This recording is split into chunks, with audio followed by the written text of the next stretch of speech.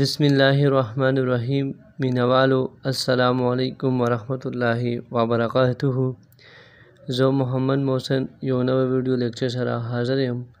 ننۍ ویډیو کې موږ محاوره او متل کې فرق واضح کو د مثالونو په رڼا کې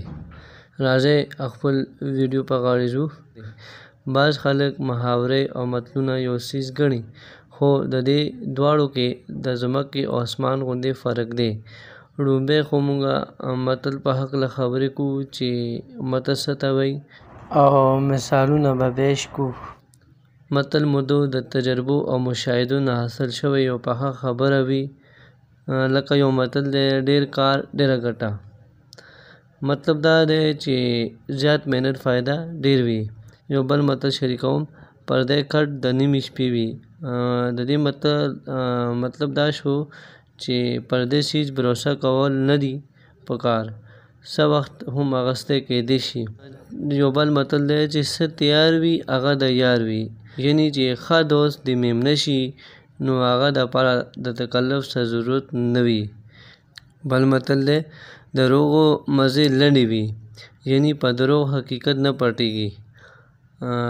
پیاز دې وي خو نیاز دې وي مطلب دا چې د خلوص او مینې په ستاینه کې ویل کېږي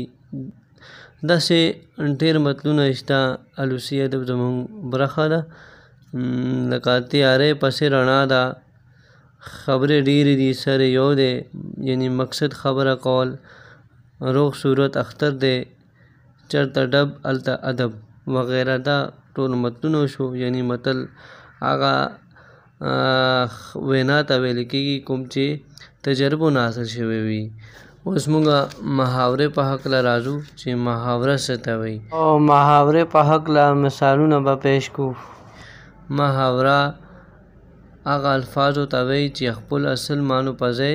مجازي معنو کې استعمال شي یعنی د خپلو اصلي معنو پر ځای نورو معنو کې استعمال شي لکه ګوتې مړول دا یو محاوره ده چې د دې مطلب دی افسوس کول یو بل محاوره شریکوم دریا په کوزه کې بندول د دې محاورې مطلب دا دی په لږو خبرو کې ډېر مطلب بیانول یو بل محاوره دی لاس اچول یعنی مطلب دا دی جګړه کول یو بل دی خوله وهل، معنی بحث کول، یو بل محاوره شریکوم، ګوته په خوله کیدل، یعنی حیران کیدل. مینه والو ننۍ ویډیو کې موږ متل او محاورې ډیفنیشن کړي دي او د دوی کوم چې دواړو کې فرق د مثالونو په رڼا کې واضح کړی ده ته امید لرم چې تاسو ننۍ ویډیو نه فایده واخلئ او دغه الفاظو نه تاسو ماته اجازه راکړئ خدای پامان.